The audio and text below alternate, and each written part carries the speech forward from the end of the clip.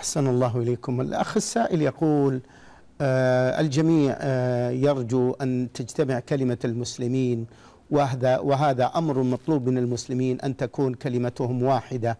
فكيف يمكن جمع كلمة المسلمين على الخير ونبذ الاختلاف والتفرق؟ هذا سهل جدا وقد وضحه الله بقوله واعتصموا بحبل الله جميعا ولا تفرقوا.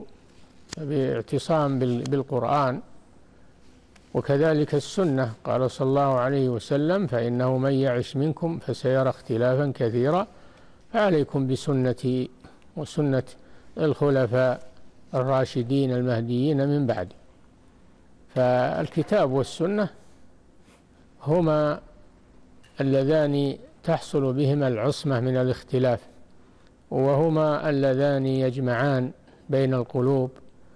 ويورثان المحبة بين المسلمين. نعم.